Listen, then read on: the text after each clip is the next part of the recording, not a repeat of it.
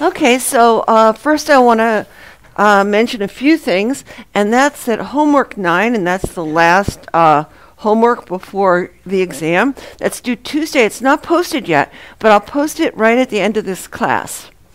Um, so then you'll have all that you need to do to study, all that you, we'll have covered everything uh, that will be on exam two. Exam one, sorry. Um, I'm wondering if we don't get through the material today, because we have a, quite a lot to cover, I'll do a little video and post it. So also the conflict exam, that's due uh, Friday. And the office hours have been somewhat extended. So uh, we're going to have office hours on Friday, too, this week. And then uh, from 3 to 5, Monday and Tuesday, and none on Wednesday, exam day. So people have been having trouble finding this place. It's right, uh, right next to Cocomero, the uh, yogurt place on Wright Street, right north of there. Very close to the corner of Wright and Green. So, um, and here's the study advice, and on Tuesday, we'll have uh, an exam review. Now, in case we don't have time to do the iClickers, let's just um, just choose A if you're here now.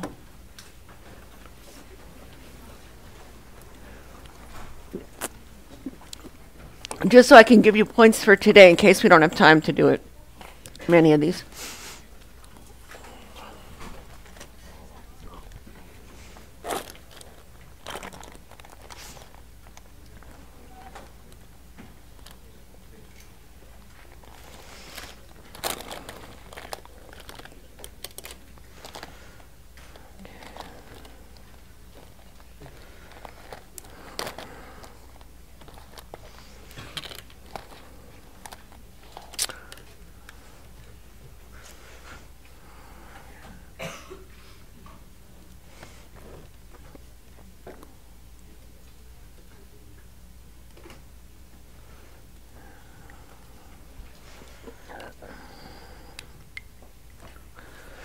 Okay, so everybody had a chance to do this. Well, I'll give you another iClicker later on too. All right, so let's stop this. Um, and go to the document camera. So we're starting right now on this chi-square goodness fit test. And uh,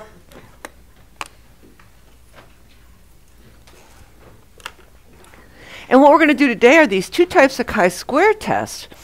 And the first, uh, they're done in very similar ways. So when do you use chi-square tests? When you have um, a situation where you have more than two categories. Remember with uh, two, ca- two categories like zeros, we could code things as zeros and ones. But let's say we had three categories like yes, no, and maybe or what's your favorite color? And we wanted to compare, um, and we have some idea, some hypothesized model, and we want to compare the data to that model. What do we do? Um, so we often have more than two categories. So we can't just use this, uh, the observed minus the expected. Because, for example, let's say we wanted to test whether a die was fair. Um, if we just wanted to see whether too many threes came up, and it was uh, that way, we could say, okay, if you get a three, you count it as one. If you get anything else, you count it as zeros. But what if we want to make sure that all the uh, categories, uh, the you know, all sides are equally likely to land? So then we have um, six differences to consider, right? And we can't just um, sum the differences because, or take the different, because some are going to be positive and some are going to be negative and they'll cancel out. So what do we do? So we're going to square the differences and divide by the expected square difference under the null. And you get this statistic here. So you take the observed number in each category that you would get minus what you'd expect with your model and you square them. So this part seems um, reasonable. But you would think that you'd get observed minus expected over standard error and then square that. So why does it look like this instead? Um, so looking at this chi-square, you'd expect the denominator to be a standard error, right? You'd expect, here, let's just write it over here. You'd expect this sum, that sum, over all the categories of you take the observed minus the expected counts, right? These are just counts, the sums in each category, over the standard error for the sum, right? That's what you'd expect for each of them. But since, but you square them because, you know, some could be positives and some could be negative, and you'd think you'd get this, like the sum of z squared, which is really what this is, but it doesn't look that way. Chi-squared is really the sum of independent z squared, right, um, right here. The chi-squared distribution is actually this right here, but it doesn't look this way for counts. Why? Because, so you'd expect, let's think about it. You'd expect this, standard error squared, you'd expect that in the denominator, um, instead of this expected frequency. Because you'd, and this, we're doing counts here, we're summing things up, so you, the standard error would be what? The square root of p times 1 minus p, you know, it's just zeros and ones, times the square root of n. That's just our standard error for sum right there, right? Square root of n times the standard deviation. And the standard deviation with zeros and ones when we're counting is, you know, the percentage of ones times the percentage of zeros, right? That's the same thing. This is what we'd expect. And if we squared it, we'd expect this, right? Instead, we got this, the expected count which is just n times the average. That's what we got. That's right here. So we're missing this factor of 1 minus p.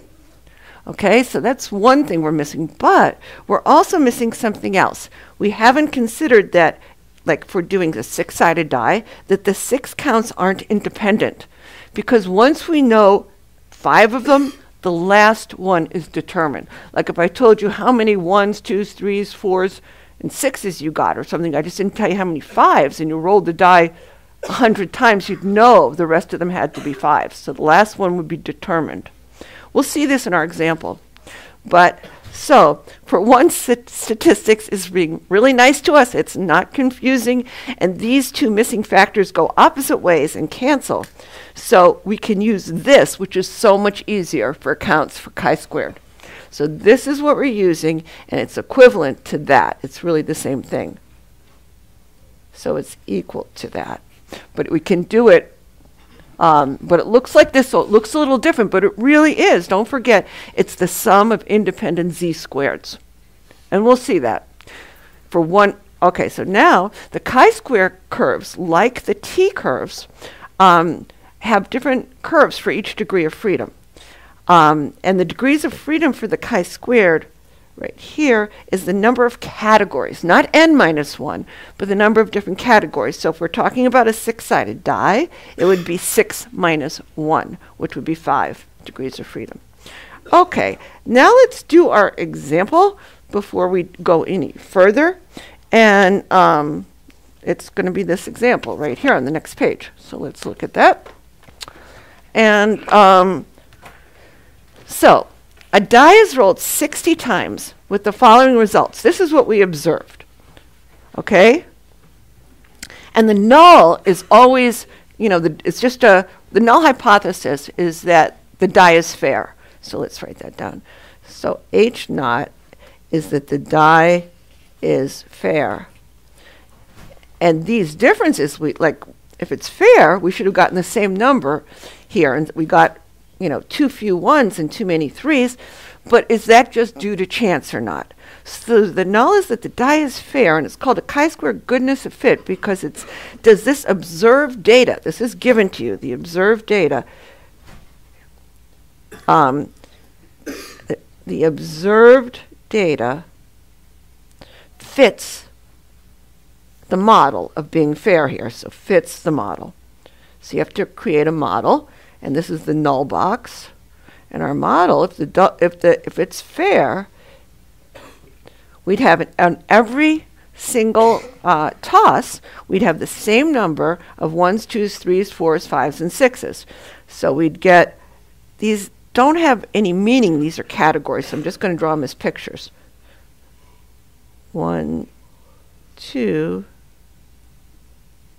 it's three dots. Can you see that? Three dots. I'll make it a four dots, five dots, and six dots. These are just categories. All right, six categories. I didn't write them as numbers because I didn't want you to think the numbers had any meaning. It's just each one of these is equally likely. All right, and this is your null box. And, um,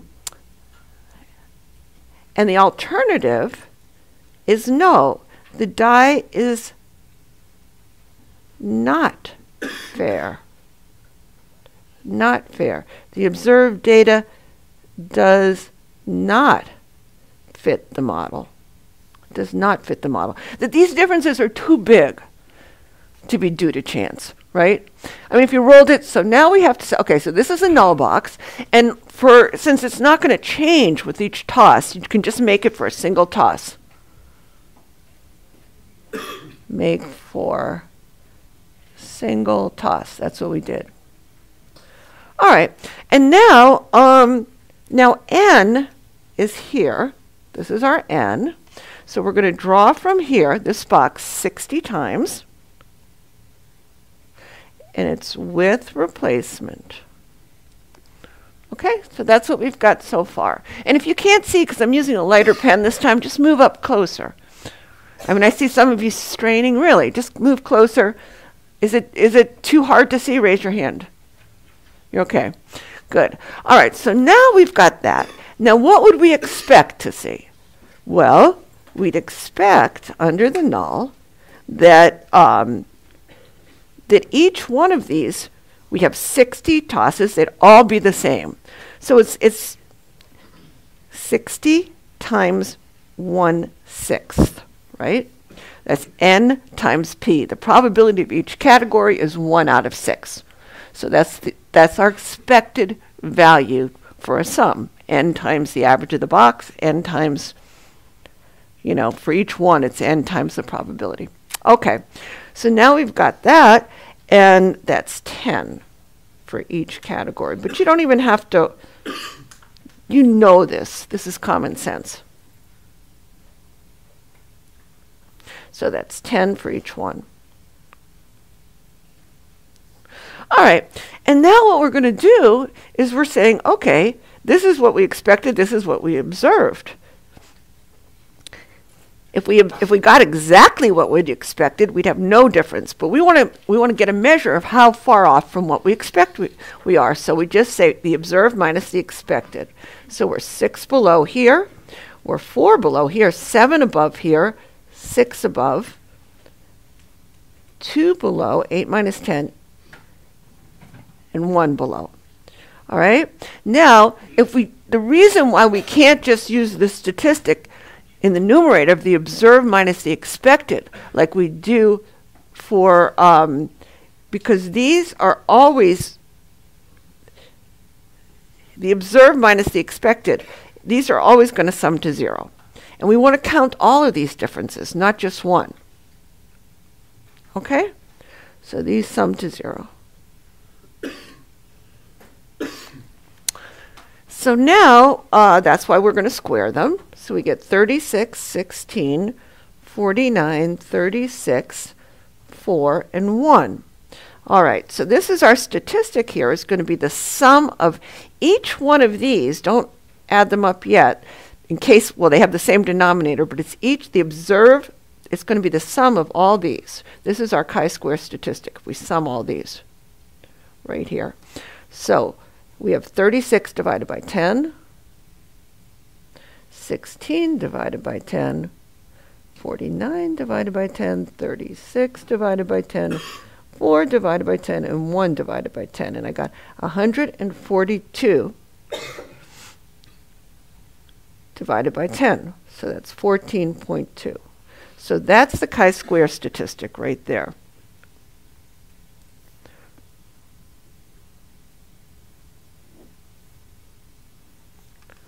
Okay. Now, I mean, I could have added these up here, but the reason I don't want you to get in the habit of doing that and then divided by 10 is because usually these don't have the same denominator. They don't all have to be equally likely, so you should do that. So now we've got our um, chi-square statistic, and our degrees of freedom is equal to the number of categories minus 1, which in this case, we have six categories right here.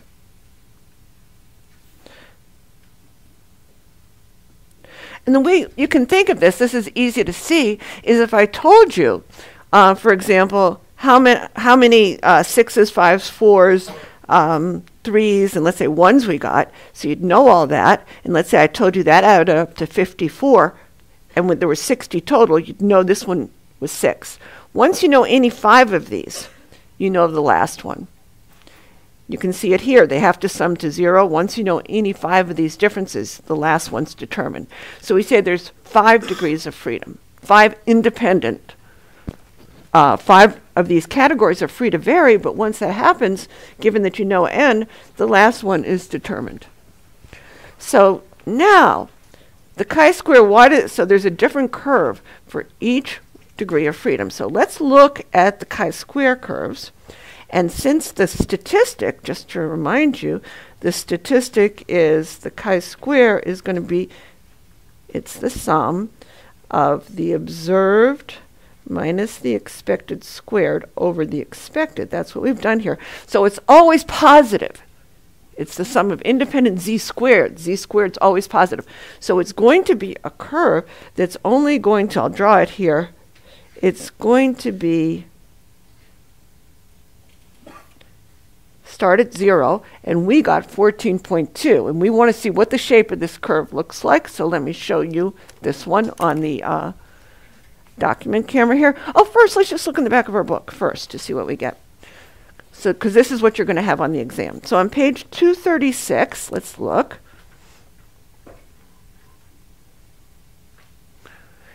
And we have five degrees of freedom, right? So look at the line for five.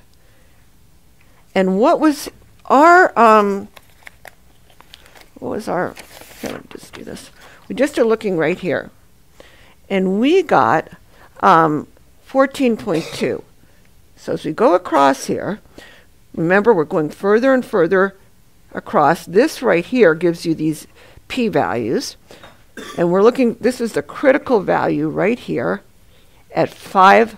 So this you could say this is the critical. Um, this gives chi-square critical values at different p-values, also called alphas. All right, that's what this is giving. They all do this. So now we have uh, a critical value of 11.07, and ours was greater than that. Our chi-squared was equal to 14.2. So it's going to be beyond this, it's going to be between 5% and 1%. Okay? So we can look at it more clearly on the, I'll show you what the shape of the curve is. So let's go over to our PC here. And um,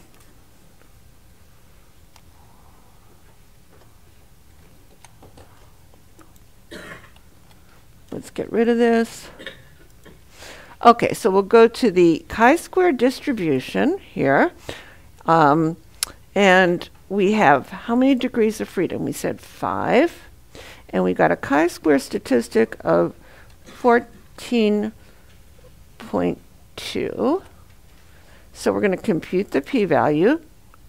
And this is what the curve looks like. It's asymmetrical right now. And you can see that we said it was uh, going to be between 5 and 1, and we got this is our p value as a decimal, so it's 1.439. That's our exact p value. Okay? So let's go back and write that down. And we can draw that curve approximately.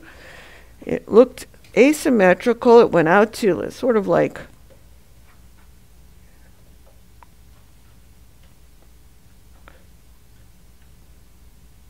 like that.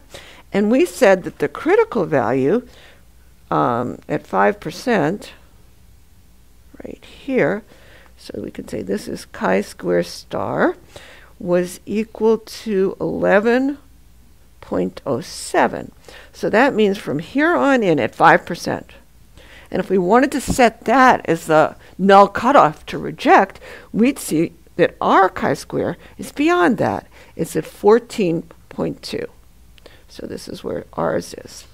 14.2 and we when we looked it up we knew it was between 5 and 1% from the from our table but we had to go to the p-value calculator and we saw that the p was equal to approximately 1.4%. I'll say it down here, p equals 1.4%. We got that from the calculator. But we know it's less than 5%. If you just, on the exam, you just have the table, so you could reject the null at the 5%. So I'll write that. The conclusion is um, to reject null, um, because r chi squared is less than chi squared star. R chi greater than chi greater. It's 14.2, that's ours, and it's greater than 11.07. So that means our p-value is less. So p is less than 5%. All right? You don't have to, that's just the formal way to talk about it. You should just be thinking, hey, if the null, just think about it this way when the null is true, we're going to get something in here, you know, around actually the expected value is the degrees of freedom. We'll see that later. So we're going to get something about five way up here. That's what we'd expect to get something about there. And look how far away from there we are. The probability that we'd see such extreme differences, remember, this is a measure of how far your, your observed is, how weird it is. It gets so weird that it's so unusual that we say at some point we're going to decide that the die is not doesn't fit this model. We're going to go with the alternative and say the die is not fair. We're rejecting this null and we're going with the alternative. Okay? That's what it means. We're rejecting this null that's just based on this and we're saying no. We have strong evidence for the die is not fair. Does people understand that on the whole? Nod if you do. Do you? Okay, a question. um, no, it doesn't always look like that. It looks different. The, her question was, what does the chi-square look like? And we're going to look at this later, but uh, for one degree of freedom, it's very asymmetrical. In fact, now is a good time to look at this now that we've finished this problem, and I'll get to your question, because that was what I wanted to go back here anyway. So it says, okay, so you get different chi-square curves depending on how many independent squares there are, how many degrees of freedom. If you have a lot of degrees of freedom, then the chi-square distribution starts to look like the normal curve. That's kind of like the t starts looking like the normal curve, right? Well, the chi-square does too. Um, now, for small, except it's not centered at zero, it's centered at its degrees of freedom. We can look at it in a moment. All right, so we'll say, I say, see these pictures? See p-value calculator. We'll do that. For smaller degrees of uh, freedom, it's very asymmetrical. So why don't we, um, the chi-square curve with one degree of the freedom is the same as the z squared, because you just have one z squared, and if you have one degree of freedom. And if you sketch them, you'll see what I mean. So let's look at this. So here's our normal curve. And this is z, right here, 0. Now what would z squared look like? That's going to be equal to chi squared with 1 degree of freedom. And what's it going to look like? First of all, well here, let's just do it. 1, 2, 3 negative 1, negative 2, and negative 3. All right? So, um, what would it look like? First of all, when you square all the negatives, they become positive. So the chi-square curve is just going to start at 0. And let's think about it. If you square numbers between 1 and negative 1, right, fractions like a half, that's a quarter, so it's going to get smaller. You know, between fractions, when you square them, are going to get smaller. So it's going to get, going to be really bunched up here. Like a half is going to go to a quarter. A quarter is going to go to a sixteenth. It's going to get really, there's going to be lots of values like this. And this area is 68%, and so will this area be. Okay? But now what happens for the values that are big? Well, when you square, like for 2, that's going to go not to 2, but it will go all the way out to 4. So it's going to start, it's going to look like this and go out forever there. And between 0 and 4, there'll be 95% of the data. Okay? Does that make sense? So why don't we check this out on the computer and you can see what I mean. So let's go to the p-value calculator and you can play around with this yourself. I don't want to spend too much time on it, but we can just check that out. So let's see, if, let's look at this. So, so if we do um, a chi-square with, um, first of all, you have one degree of freedom, and let's just say, okay, let's say a chi-square of 4 should give us about 95% in the middle, about 5% on the tail. Let's try that. So we compute the p-value. It's not quite 1.96 is more, you know, because 2 is an approximation, but about 5%, 4.55%. Okay? Now, let's take the square root of that with the z, and we'll get exactly the same thing. So the square root of 4 is 2. So remember this number, you're going to get exactly the same thing, and then both tails together. So we go here to the normal, and now when we do a normal of 2, and we're going to do both tails, right, negative and positive, and now we're going to compute the p-value, and it's the same exact thing. So that's why I said z squared is the same as, with one degree of freedom here, is the same as the chi-square with one degree of freedom. Now let's see what happens as you increase your degrees of freedom. So we'll go to chi-square. This looks, this was a chi-square with one degree of freedom and we had a um, four here. All right, it doesn't look very normal, but look what's hap, if I do 100 degrees of freedom, right? You're not, four is not even going to show up watch compute. It's going to look really normal and it's going to be centered right at around 100. It's going to look pretty normal and it's going to be centered right around 100.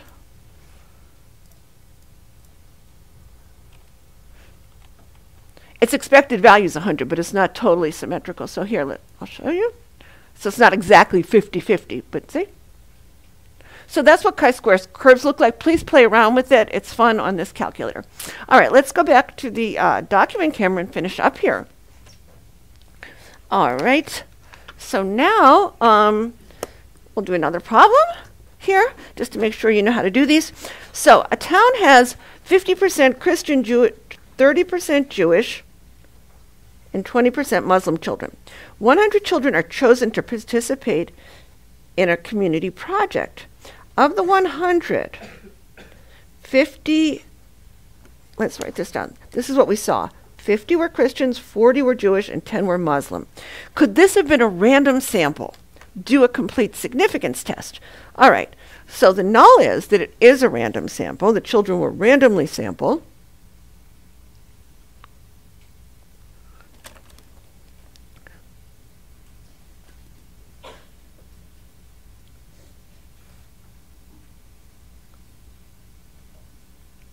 And our observed data fits a model. So we have to have a null model. And what's our null box? It would fit a model that they were randomly chosen from this population. We had three categories. If we, if we had two categories, we could have done a two, just a um, Z test, but we have three, and we want to count all three Christian, Jewish, and Muslim. And this is 50%, 30%, and 20%. Okay, that's our model. And there's thousands of tickets, one for each child in the town. Now, the alternative is what?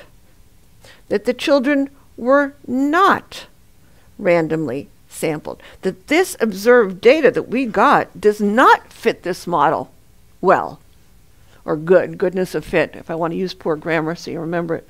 It doesn't fit it. That there's too few, too many Jewish children and too few Muslims.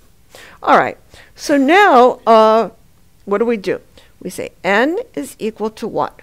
Well, we chose, this is your n, we chose 100 children, and in this case, it's um, without replacement because we, we want different children. All right, so what are we going to do? We're going to use the same statistic. I'm just going to draw a little chart to make it easier this time for you. So these are our categories. And what did we observe and what do we expect? Well, we observed, that's just given to us, 50, 40, and 10. And the sum is 100. Now, what do we expect?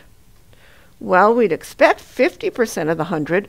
It's easy in this case because it's out of 100, so we'd expect 50, 30, and 20. But let's say it was out of some other number, you'd just say 50%. 50% of 100 here. And of course, you're going to get 50, and then you'd expect 30, 50, 30, and 20 split. Okay? So this is 30 and this is 20. But it's not always going to be 100, so, so, you know, whatever that number is, obviously. Okay, so then you get 100 total. And now we're going to say our observed minus our expected. That's what we have to figure out. So in this case, it's zero. We got exactly the same number of Christians as we expected. But here, we're 10 above, and here we're 10 below, and they have to sum to zero, so always check. And that's why we square them, so we get the observed minus the expected squared. And we get one, 0, 100, and 100. And don't sum this up because they're all over different expecteds here, right? It's the observed minus the expected squared over the expected is what we want. So this will be 0 over 50. This is 100 over 30, and this is 100 over 20. And there we get 8 and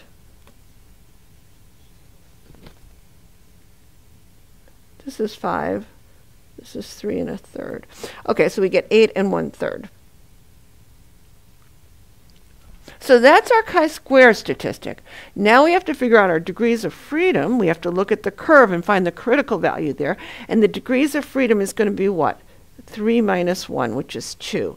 So we can just go to the back of the book and we're going to compare um, this to the critical values. So let's do that. So we have uh, 2 degrees of freedom, 8 and a third. It's right here. So you can see that it's less than 5%, greater than 1%. It's in, in there. So um, we'd say we would, uh, our conclusion is that, uh, that our p-value is between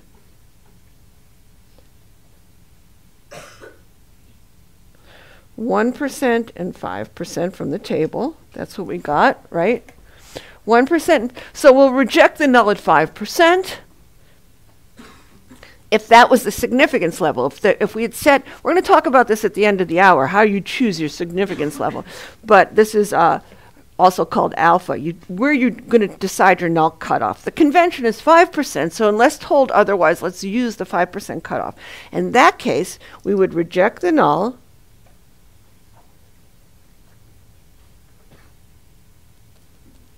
at 5% significance level, that's also known as alpha, reject the null, and conclude in favor of the alternative that the children were good evidence, strong evidence that the children were not randomly chosen. If you had to make a decision, you'd go on that side.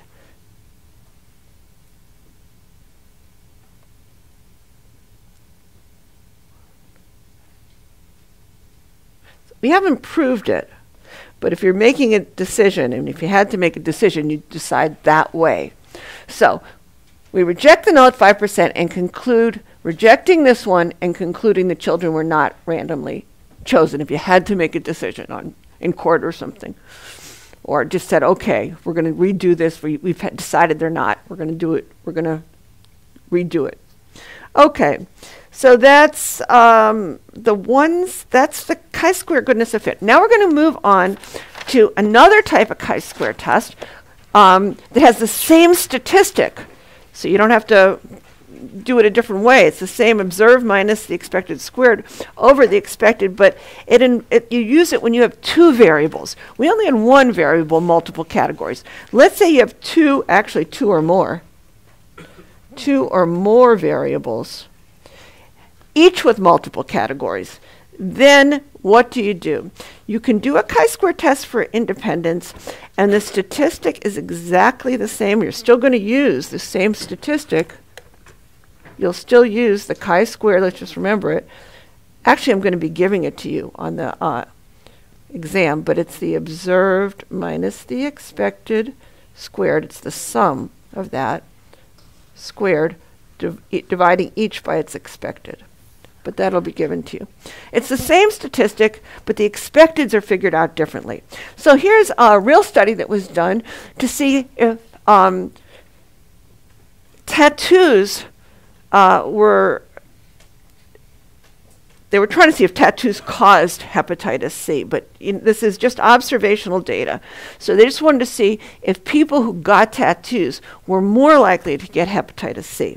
So it was a study. Um, looked at 626 patients and they were going undergoing medical evaluation for some spinal things so they could they could photograph them anyway and they saw how many uh, tattoos they had.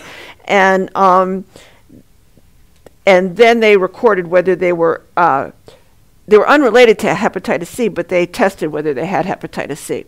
So they weren't coming in for hepatitis C so it was a nice cross section I mean, it was reflective of a general population. So here's the data that they got. Okay? So the null hypothesis is what? That hepatitis C and tat- whether you have a tattoo or not are independent. That knowing whether somebody had a tattoo or where they got it from, these three categories tattoos from a parlor, tattoo from somewhere else, or no tattoo tells you nothing about whether or not they had hepatitis C. All right, so these are the um, observed counts. Remember, we're doing counts. Did you notice how we had to? Yeah, everything is counts. Uh, frequencies are counts. Just expected values for sums. We're counting things up. All right, so these are the counts. Now, how do we get, and these are the observed, so this is given. And now, how do you get these expected? Because we're going to do the same statistic here. So think about it. The null says that they're independent. So if we look at this, if we look at, at, at this, the total right here, the total says that 47 out of 626. Why don't we do it down here? We're trying to get these expecteds. So here it says that 47 out of the 626 47 divided by 626. That's set, that's 0.075. That's where this is right here. So let's draw a little box so you can see. The idea is 7.5% of the total people have hepatitis C and 92.5 don't. So this is hepatitis C, and this is no hepatitis C. That's what, how'd they get this 92.5? That's 579. That's all these people. 579 didn't have it over 626. and that is um, 0.925. So, okay, so that's the idea. And then you say, all right, if that's the case, then if they're independent, if knowing that they got it from a parlor tells you nothing about whether or not they have hepatitis C, then 75 7.5%, right? This is 7.5% have it, and 92.5% don't.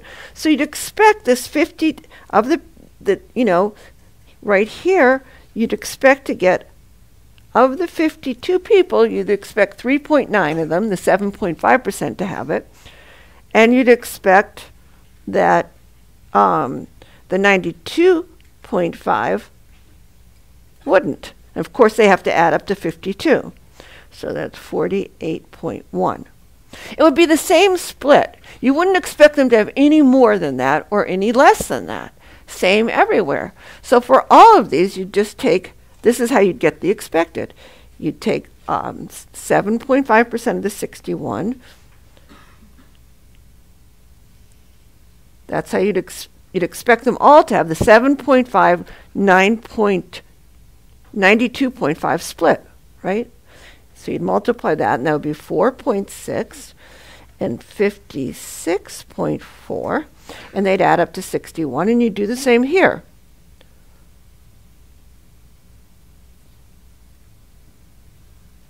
the 7.5 and the 92.5 of these people.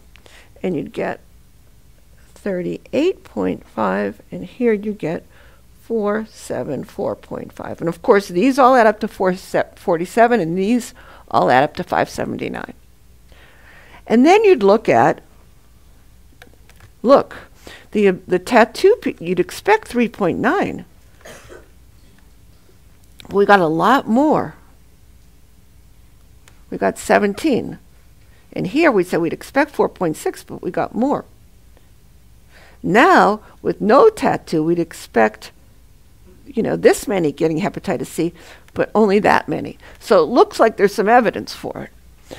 Um, another way to do this, a very quick way to do this, that's exactly the same thing, is if for each cell, multiply its row total, which is 47, like for this one, you'd say 47, that's its row total. We'll just do this one. Times its column total, times 52, and divide by its overall total. And you can see why that's the same thing, because the 47 over 626 is the point, that's how we got it. Is this, you know, it's the same exact thing. So for this one, if you just wanted to follow along, what would you do? You would take its row total times its column total and divide by its overall total. And you can see that 579 over 626 is typo is the same thing. Okay, so that's how you do it. Any questions on that?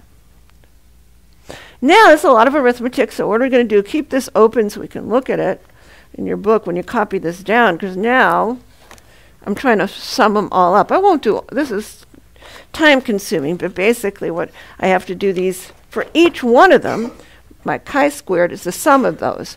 So let's look at our first, um, let's, here's our observed. We had 17 here, I'm just going to write them down, 8, and 22. And we had 35 observed. I'm just copying this down 53 and 491. Now, those are observed.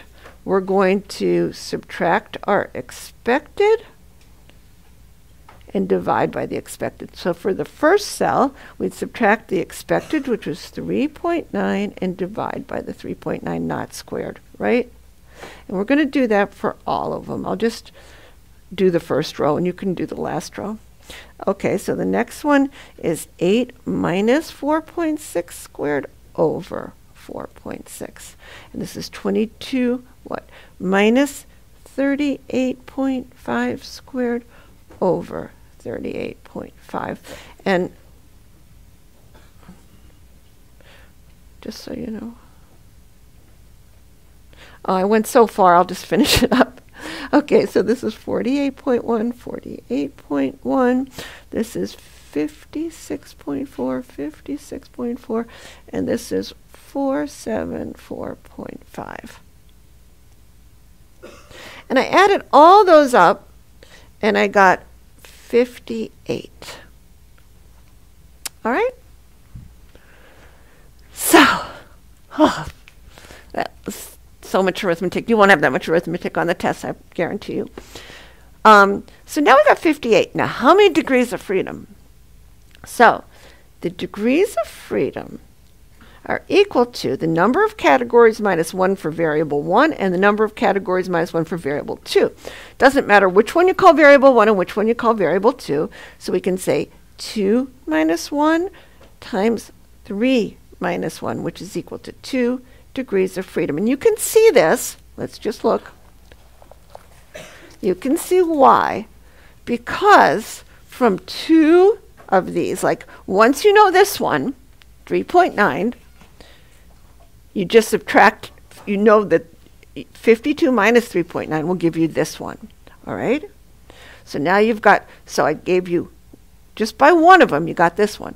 Now if I gave you any one of these, you'll be able to get the rest of them.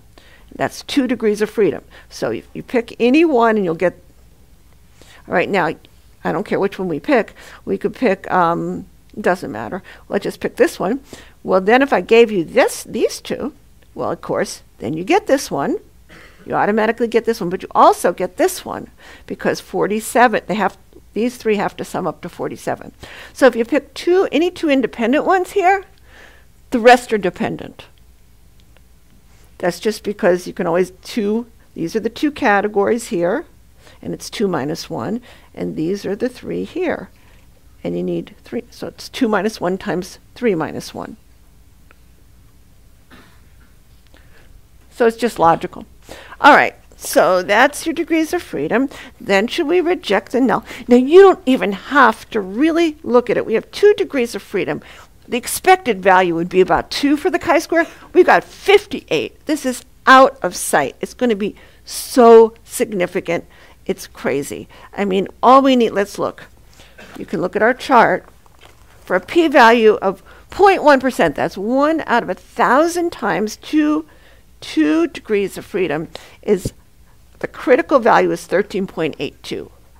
R, so 13.82, if you're going to draw the curve just as a quick sketch of the curve, you know, it's going to be pretty asymmetrical still. And when you get to 13.82, that's chi-squared. This is the chi-square star for one out of 10,000 times you're going to get this far. So this, this area is 0.1%. That area. Now where's our chi-squared? It's way over on the other side. It's way over there. This is a tiny, tiny, it's off this chart. So you know that um, all you have to say is what? Um, r chi-squared, should we reject the null? Yes our p value is minute. Tiny is tiny. Because what? R chi squared is 58, which is so much bigger, so much bigger than um, 13.82,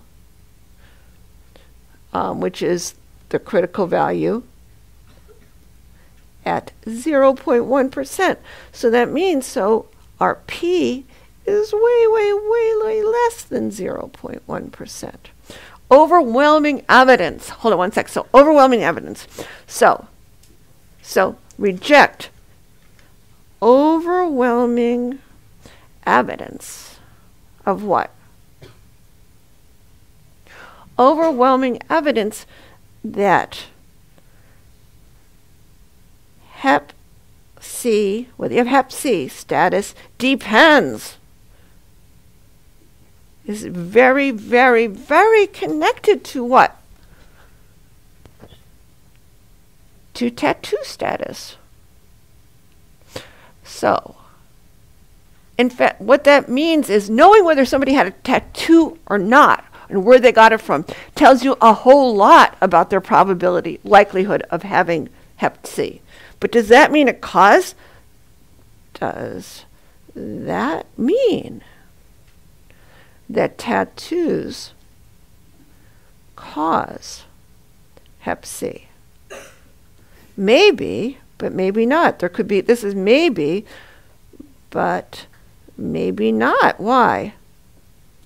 Because this is observational data. So you can't conclude causation. You have to look so you have to look for confounders.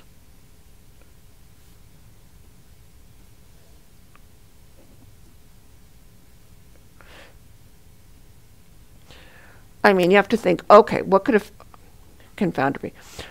That would be something that's both causing hep C and somehow is causing people to get um, tattoos. Maybe some kind of, or tattoos are a marker. So if we get rid of this, you'd still get the hep C. Maybe like risky behavior, like um, risky, like having unprotected sex, ris- risky sex and drug behavior. That could be a confounder. What would be a causal link? A causal link would be that the tattoos cause through because or contaminate that you, are using contaminated needles, so they transmit um, by dirty needles. Somebody else, you know, that might be it too. They transmit the hepatitis C. So if you don't get the tattoo at the parlor, if you if you you know don't get the tattoos, you wouldn't have gotten the dirty needle. You wouldn't have gotten the Hep C. So that would be the causal link. And that would be the confounder. Okay, any questions on that? You did have a question over there, yes. Mm-hmm, yes.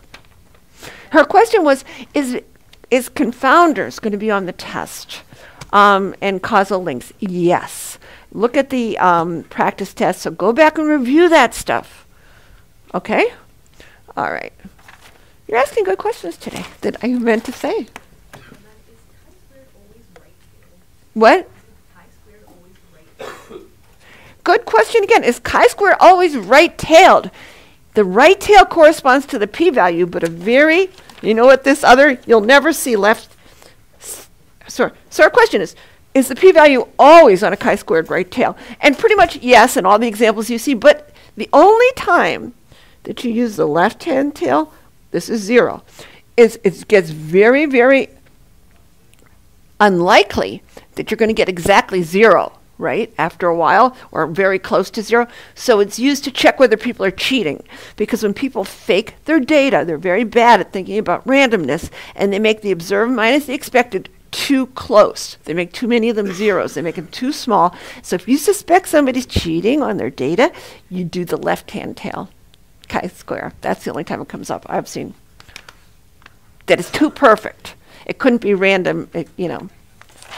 All right, now we're going to do this one.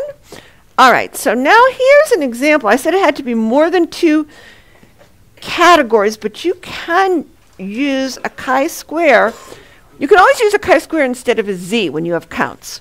So here's an example where it's often, we're going to do the same example we did, uh, the love at first sight example from, where was this, from page um, 78 and we did it as a two sample Z, and now I'm going to show you that often it can, you could do it as a chi-squared as well. Um, and then you'll see that your Z statistic, if you square it, will be the same as your chi-square, and it will be the same p-value as the two-sided. So let's just look back, and you can see what we did on page 78. It's this one, where we had two zero one boxes, and we thought, oh, um, you know, is falling in love. Men said they fell in love 40 44% of the time versus 36% of the women from a random sample. So we did this, so that's a difference of 8% here. Where is it? 8%, and we got the standard error, and we got the p-value of 1% for the two-sided. So what I'm saying is, if you square this, you're going to get our chi-square value, and this will be the same p-value. We'll get 1% the same. So let's see if we do. Doing it as a, let's try it. Okay, so now so we have the same thing here, but we have to change these percents right here that we were given, 44% and 36%. This is our observed. This is what we're given. Um, we have to change those to counts. You always have to do that to frequencies. So we'll just say 0.44 of the 500 men is 220. And 0.36 of the 500 women is 180. So that means 400 people said yes out of the, you know, out of 1,600 said no. And we can get all the rest just by 220 to 80 and 180 and 320 makes 500. All right, so everything adds up. And that's our observed. If they're not given to you, you change them to counts. Now, what would we expect? Well, it's the same data here. It's 400. We have to say if 400 people said yes and 600 people said no, then what would we expect? Well, here it's really easy. You'd have a 50 50 split here and a 50 50 split here. So we know it's going to be 200 and 200 because these are 50 50 and 300 and 300. If we didn't, we'd just do, you know, the usual thing. To get this one, we'd say 500 times 400 over a 1,000. And you can see that's just half of the 400. And you could do that for all of them. Any questions on that? Does everybody understand? Okay, so now what your chi-square stat to be? This is easier to do because the numbers are simple. So what would your what would it be? It would be your observed minus your expected. So that's 220 minus 200 squared over 200. And the next one would be plus 280 minus 300 squared over 300. Notice these are all 20 because there's just one degree of freedom here. So here, this one's also good. Okay, so now here you have 180 minus, and they're 50-50 splits here. 180 minus 200 over 200 squared plus 320 minus 300 squared over 300. So these all add up to 6 6.67. Okay? We can look, and the p-value, 6.67, oops, degrees of freedom. There's just one degree of freedom. Once you know one of them, you're going to know all of them. But let's do it. Your degrees of freedom is equal to 2 minus 1, two categories here, and two categories there. So that's one degree of freedom, right? So, um, so what am I saying here? Let's just go to the, okay, so first of all, let's look up 6.67 with one degree of freedom. And we said it will be about 1%, the critical value. It's just a little bit under 1%. We rounded before, so it's about 1% because just 6.67 is just a tiny bit towards small smaller p-value.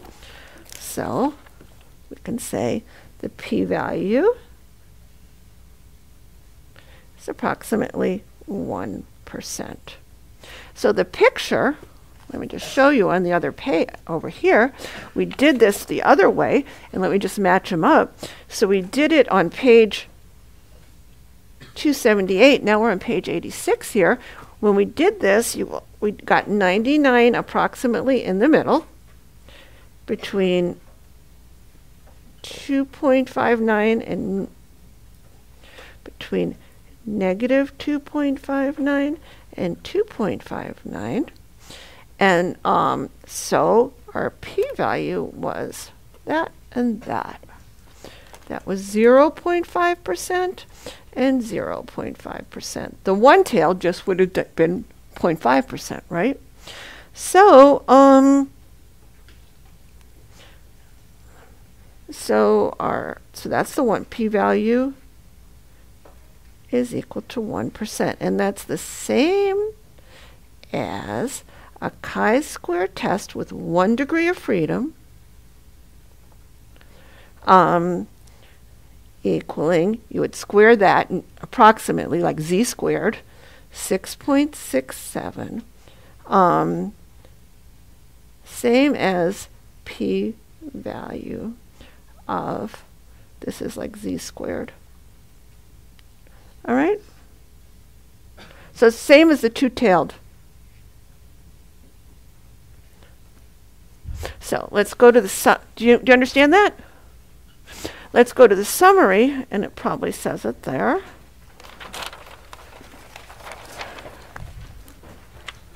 Um, let's see.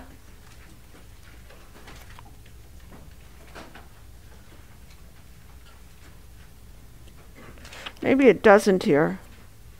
So let's just write it just to make sure that you know that um, that a, a chi-square test with one degree of freedom is the same as a two sample z test two-sided alternative. Okay, those two will give the same p-value. They're basically the same test.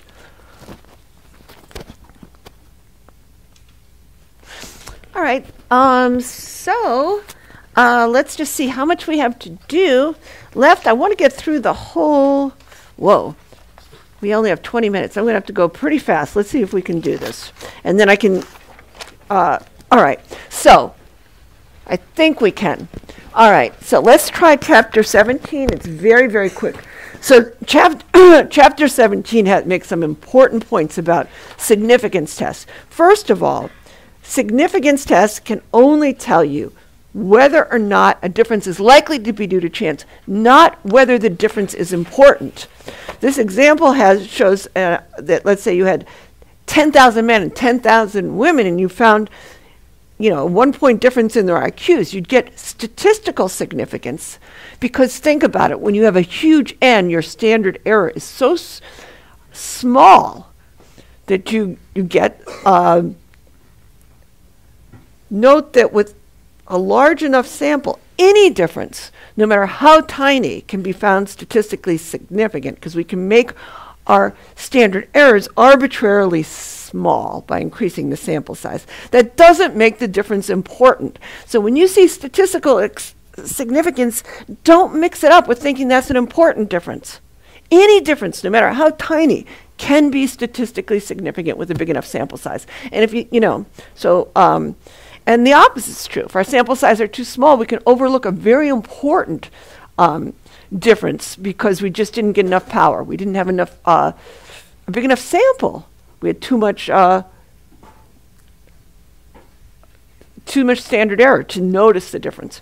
Okay, and the other thing that I really want to, to um, emphasize is that with enough tests, significant results will appear by chance. So if you run 100 tests, you can expect five to be statistically significant when the null is true. So um, I'll post these notes, but that's this is so you have to report all. Let's do an. Let's go to the next example, and you'll see what I mean. And I'll fill this in for you and post it. But an experiment on ESP is repeated a thousand times. Let's say there's no ESP, and there probably is, there's no ESP. If it's reported a thousand times, about how many of the experiments would you expect to find statistically significant? At 5%. Well, by definition,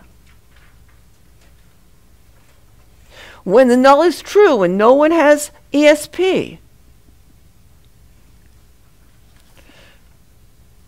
That means when there is no ESP, will find 5% of the 1,000 just by chance, which is equal to 50,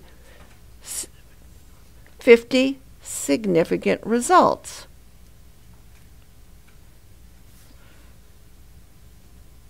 So you um, can't just keep repeating an experiment or keep doing it until you get significance. That's p hacking.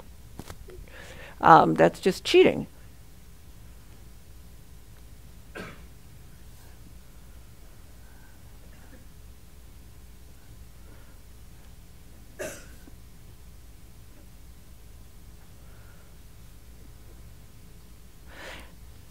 And a lot of people do that because they don't report it when the other ones.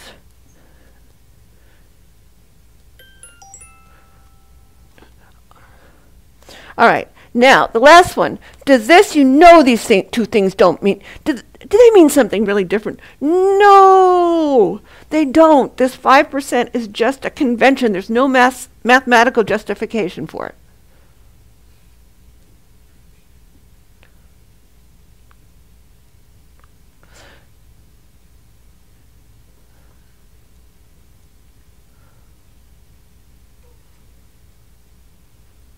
Remember, these things are all curves, they're not cliffs. There's no difference. 5%. There's hardly any difference. It's not like a cliff, it's not a sharp drop off. Okay? Why pick 5%? Why not pick anything else? Speaking of which, let's go to the next section. All right. Type 1 and type 2 errors. So we've only considered this type of 1 this type 1 error. What is a type 1 error? So a type 1 error, let's just use the normal curve here. The type 1 error is what?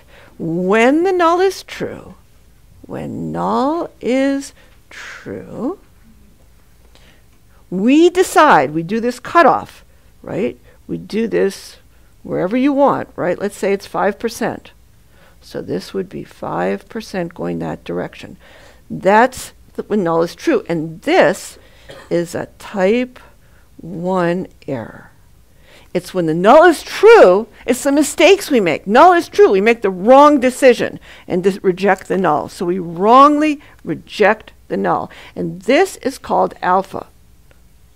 The probability of a, that's what we call it, the significance level. The p cutoff is right here is this sometimes we call it alpha right there where we decide this is the null cutoff.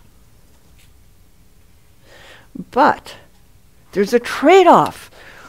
This is when the null is true. What if the null wasn't true? Then we have another distribution that overlaps this one. Let's say we'll put it down here. Let's say the null was not true. So now I'm just going to draw another curve and let's make it shift it over this way. So now we're deciding for the alternative. But we let's say there's a particular alternative here. We haven't looked at this before, we're, but let's say that looks like this. Okay? So now let's put in the this is when the alternative is true. So when the null is true, and we go this way. This is our type 1 error. But we can make another type error. Let's say the null is that uh, there's no fire. Let's say there's a fire alarm. This right here is whether the fire alarm is going to go off. It's measuring the smoke in the air. And so this is like when the fire alarm goes off and says there's a fire, but you're just cooking or something. So this is when fire. So fire. No fire. And this is a false alarm. That's what a type 1 error is a false alarm, okay? But what if the fire happened? What if the alternative is true? There is a fire. Fire! Sure, when your alarm goes off, that's great. But here's the other type of error you're deciding this way. You're, you're looking here and you're deciding this way, right? Well, there's another error. This, I'll make little dots here. I can make it blue and yellow. I'll make a different color. And this is yellow. This is your type 2 error. When it, the fire alarm doesn't go off and it fails to, uh, the alarm doesn't go off. All right? And then this error in this case is more serious. So you don't want your null cutoff there, right? Because these people are going to die. If the fire doesn't go, if the alarm doesn't go off, that's really dangerous. Or it's just annoying here. So you might want, if this was your detection system and you can't, the ideal thing would to do would be to do a better detection um, system. This is the fire alarm, right? So the ideal thing to do would be to um, make these curves narrower. Make your standard error, your sampling error, much smaller. So to separate them so this doesn't happen. But let's say you can't do that. Then you're left with only one choice, and which is to adjust this. Here's another good example. Let's say it's uh, a quality control thing with some important part in an airplane. All right? So when the null is true, nothing's going on, the part's fine. The airplane is not going to crash. Null means no effect, not just regular stuff. Right? If you set it way out here, you'd think you'd make it really small so you don't have these false alarms and people aren't saying, hey, we think there's a problem and they're not delayed. Look what happens here when they're really, when it's, it is defective, you're raising the probability of the type 2 error, which is why there's a lot of faulty, um, you know, when you walk through security, they're very worried about terrorists. So they don't mind having a, a lot of, they don't do it at 5% here. What I'm saying. Doesn't that make so people say, "Oh, let's make this smaller," or there's something sacred about five percent? No, it depends on the consequences. You have to think about the alternative. We haven't been doing that yet. We've just been concentrating this, but you have to think about the alternative consequences. So that's what this is about. Now, this right here is called the power of a test, and that's the power to detect something that's really there. Right? It's a power to detect. It's like um, when when you really have the disease it's like a true positive. Okay? And this would be like a false positive. So when you're thinking about diseases, you have to think about the same problem. What are the consequences of a false positive? What are the consequences of a false negative, etc. So that's the idea. We have to go, but let me just finish this. Now, so And here, here it is. Uh, so let's look at this again. So I did a little chart here. And here's the truth. The truth here. Okay? The tr- there's just two ways it can go. The truth, there's either a real effect, there is an effect, or there's no effect. The null says no effect, negative. No effect. Think this is negative and this is positive. Then you make a decision and you want to agree. So you could reject the null that nothing's going off and decide that there is something, a false, it's a false alarm here, but it's a true, it's not a false alarm there. It's a true positive. Or you could fail to reject the null and you say there's no effect. This is your decision.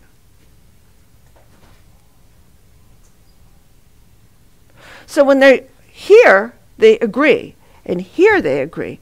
But here's where your errors are. Okay? And this, the real effect is negative, but it's a false positive. It's you made the wrong decision. And here you have a false negative. You said there was, you know, so that's the idea. And um, these are all just now the question is here's what I did on the other page uh, very uh, informally is how can you lower both types of errors? Because that's what you want to do. Like here's your type 2 error, and that's called beta. Sorry, I'm going so fast. And here's your type 1 error, and that's called alpha. Okay? Now, how can you lower both? You can't because unless you, unless you either, um, you can do it by, um, you can't.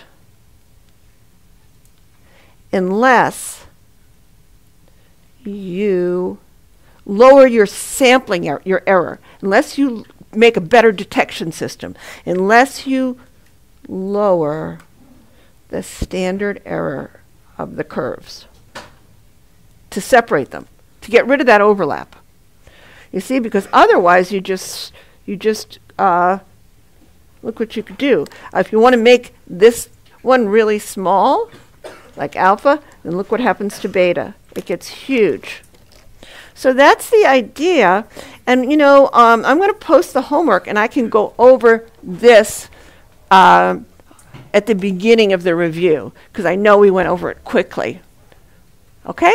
Just one iClicker question I just want to do right now because I want to ask you. Um, I, I really do want to ask you this. Um, a, if you think that I need to, do you think this was adequate coverage of these chapters and you'll be okay? Vote A of the last two chapters. Or B, if you want me to do a little lecture and post it. So A, if you think this was okay, you understand it pretty well, vote A. Or B, if you want me to go slower and do a video of just chapters 17 and 18. I'm going to post the notes either way. I'll be posting the notes, uh, the filled in notes more carefully. So just vote A, this is good, or B, you want me to make another video. A video of chapters 17 and 18. So I'll, s- when you're finished voting, you can leave. No, I,